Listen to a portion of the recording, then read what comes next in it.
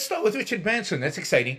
So Richard Branson um, uh, launched himself into space today. Uh, first, uh, uh kind of first civilian, if you will, uh, to go into into space uh, on a, um, I guess it was a kind of a plane, went up and, and, and landed. Incredibly cool completely privately funded. Uh, they launched off of from New New Mexico in the United States, and there we go. Florida Nick is starting us off with two dollars. We could make this a two dollar day, and and we could just get all of you to just do two dollars and two dollars and see how how much money we can raise at two dollars uh, a pop. So um, keep it up, Nick. Uh, thank you, Florida Nick. So uh, here we are. We've got a first man in space, billionaire in space in eight days or in seven days. I think Jeff Bezos is going up into space on uh, Blue Origin. And what's interesting there is there's there's some really healthy competition between uh, Blue Origin and, and uh, Virgin uh, Galactica, I guess it's called. And uh, so far, right, it, we've seen the Virgin as one because because Branson got into space first. But it's interesting because Blue Origin announced that Jeff Bezos would be launching in seven days. And uh, uh, Virgin was supposed to launch just a test flight with some pilots uh, today. But Richard Branson jumped in, basically uh, announcing that he wouldn't let Jeff Bezos be the first man into space. He wanted to be the first one into space. So some healthy competition there. And therefore, he joined the flight today and went into space. And uh, now there's competition about what you define as space. It turns out that uh, Branson went something like 84 kilometers uh, up. Um, and uh, the United States defines the beginning of space at something like 84 kilometers. But the international body, some international body that regulates this stuff, defines going up into space as 100 kilometers. Jeff Bezos is going to go with the 100 kilometers. So, so the whole week, um, uh, Blue Origin has been poo pooing uh, the achievement of uh, Richard Branson by saying he's not really going to space. It doesn't really count. Zero gravity is much uh, much low. That you know, it's going to be a much shorter uh, time in zero gravity, and it's not really a rocket. It's an airplane, and it, so there's this there's this competition going on. Uh, between the two, uh, from a marketing perspective, from a technology perspective, from a timing perspective, um, it, you know, and I I find it cool to see. I think the idea of uh, private individuals uh, making it into space at their own expense uh, is uh, is truly uh, is truly thrilling and exciting, and proves that even big capital ventures, even big ventures that take a lot of money, can be done by private enterprise. That you don't need government to initiate every advancement. You don't need government research, government money, government funding to move humanity forward. It's it's actually pretty rare and pretty unusual that government is funding uh, things that actually all the way push us forward. They might fund some of the basic research because they're the only funders today of basic research. They crowded out everybody else. But in terms of taking that basic research and turning it into something that is useful for human life, it's not what government does. Uh, and uh, and it's not what government is capable of. And even if and if the government stepped out of basic research, it's not like there'd be a hole there. And I think what Branson and Bezos are doing is showing us that private enterprise, private ambitions, private selfish, self-interested interests can move civilization forward. And and space is is a is the next frontier. It's it's it's a, it's phenomenal to see us breaking into space and and and what human beings can achieve and what is possible. I think every time uh, every time uh, these guys launch rockets into space and ultimately make that trip to Mars and and put humans on Mars, these are massive achievements. Uh, for human beings, for the future, for the advancement of technology, for the advancement of human ability, and uh, and it truly is fantastic. And it's a slap in the face to the statists who again think that only with government can we achieve anything. Uh, Victor Baratti, thank you. He's continuing in the two dollar day. Christopher is going up to the five fifty Canadian, which is what four bucks or for something U.S. So thanking Christopher uh, for your support. Uh, I really appreciate support at whatever level you guys choose to support it, I appreciate it. Whether it's two dollars, two pounds, five five five fifty Canadian, whatever, um, is uh, is really uh, is really great. So Branson is the first billionaire. Well, he's the first uh, civilian in uh, to to fly into space in a civilian in a privately funded civilian aircraft, and that is uh, that is truly um, fantastic. The beginning of space tourism, the beginning, and and look, people are going to complain. Oh, only billionaires can do this. Only billionaires can. Yes, that's right. But what's the point from from the perspective of the people? The point is that billionaires are first adapters of very, very expensive technology. But what happens over time?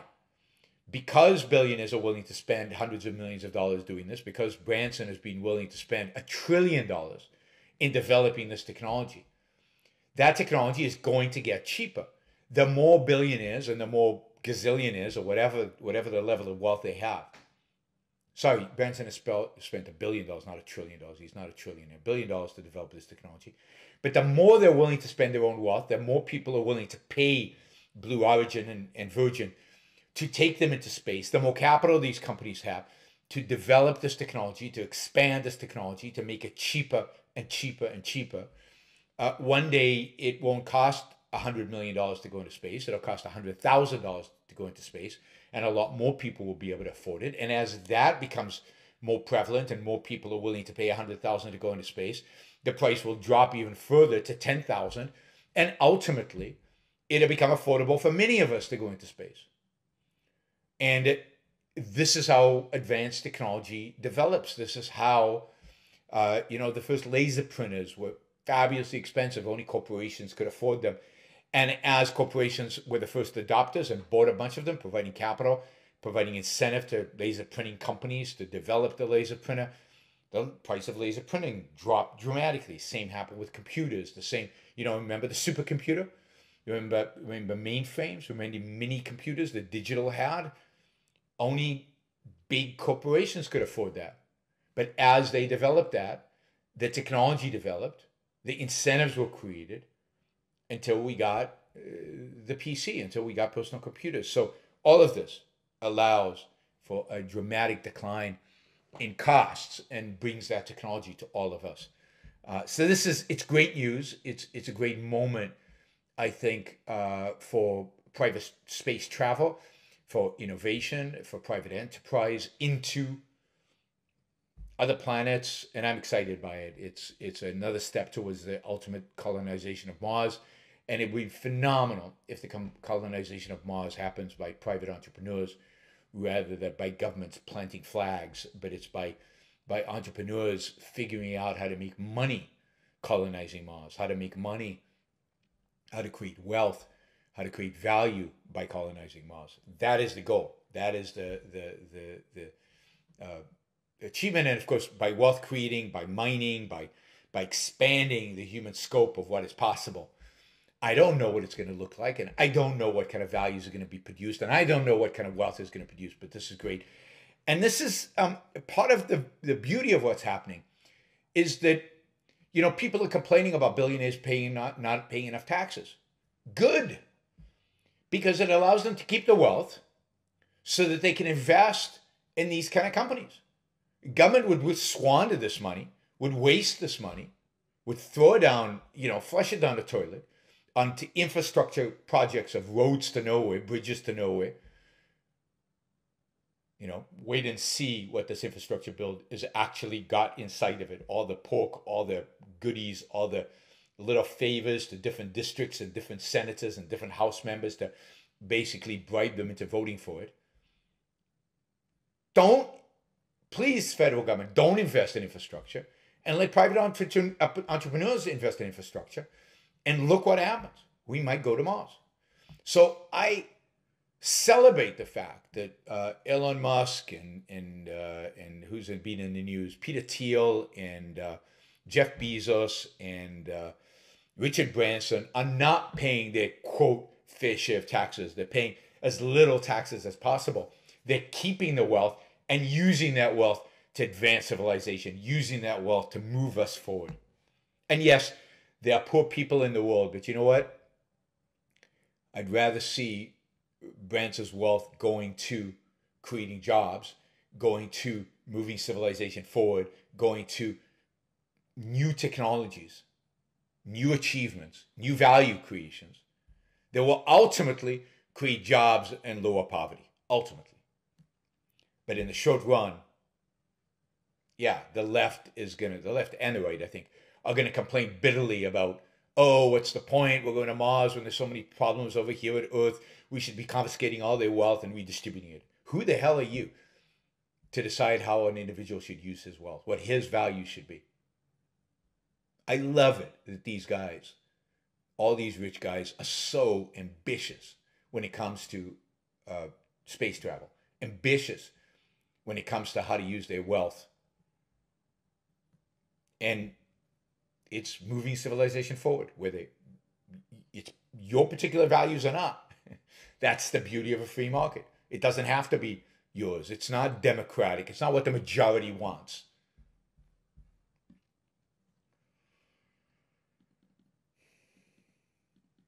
Mars looks a lot like Utah, MHOE says. Yeah, maybe maybe we'll discover life uh, on Mars cons- cons- constitutes.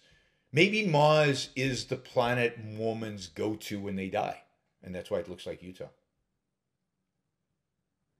For God's chosen people to choose Utah as the place to live in, particularly the flats and the desert in Utah. Right? Um, so I'm excited about Branson going to space. Uh, a week from now, we'll see Jeff Bezos going to space. So here's the question. Here's the question. How is this? How is how, how are we going to keep this space travel safe? How are we going to make sure that these spaceships don't blow up? Well, one way to keep it safe, one way to keep it safe is to have the the guy who's spending all the billions building these space rockets fly like the first one. Like they don't want to die. So you know that Branson and Bezos have put enough safety protocols into their spaceships to make sure that they don't get killed on their initial flights, right?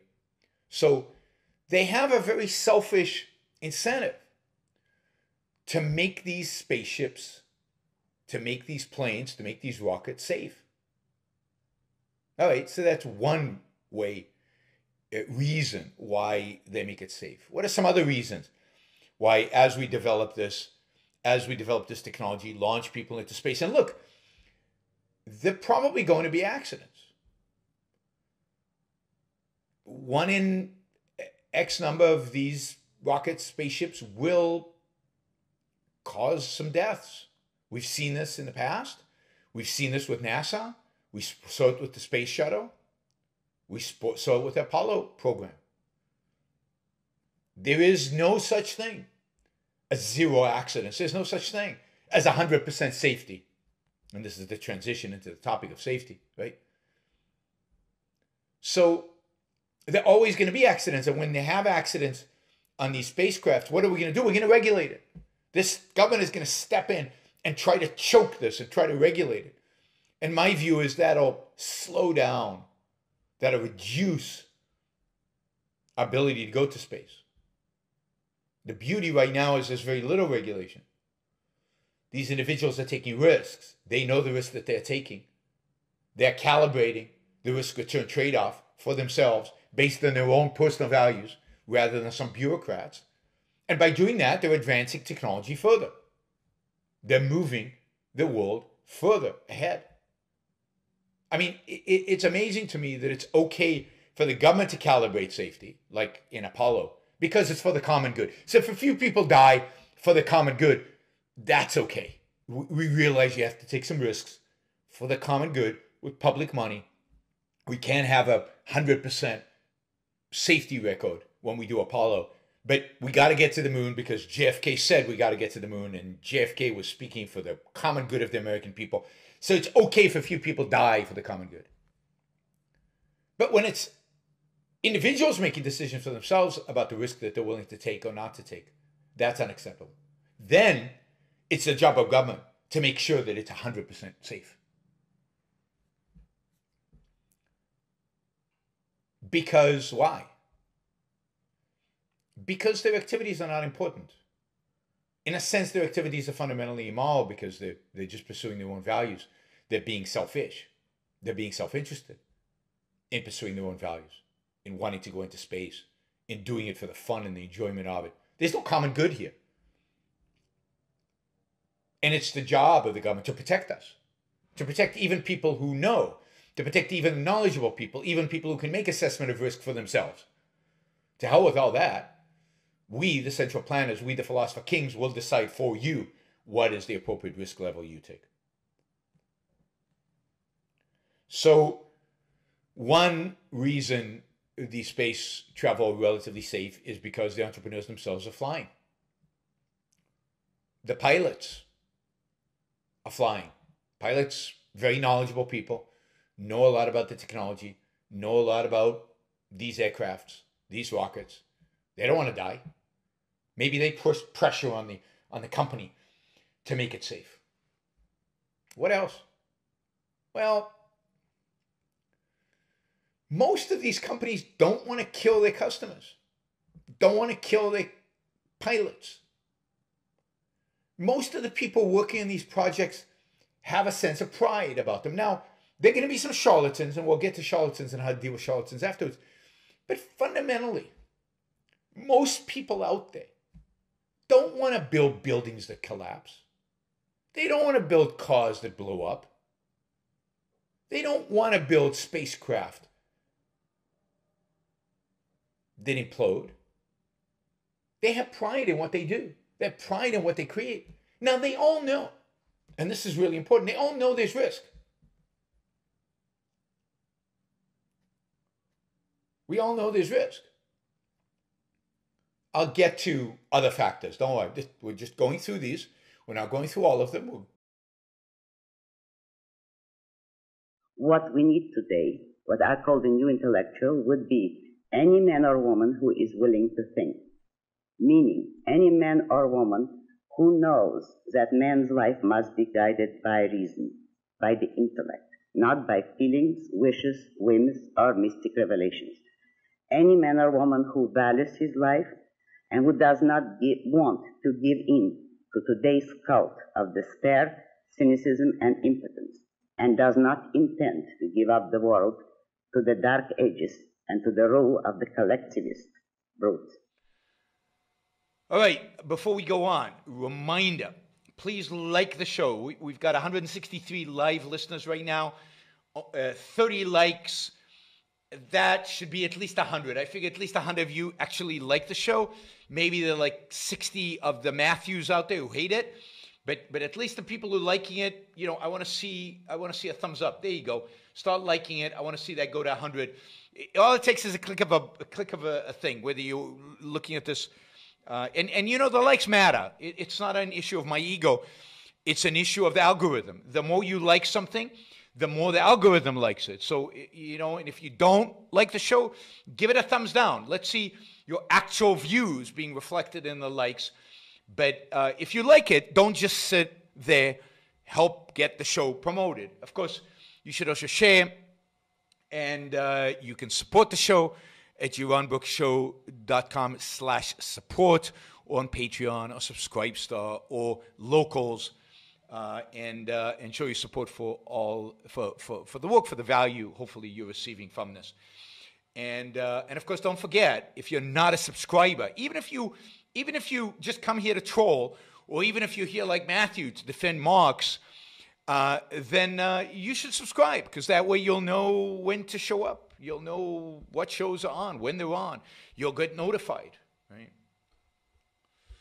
So, um, yes, like, share, subscribe, support.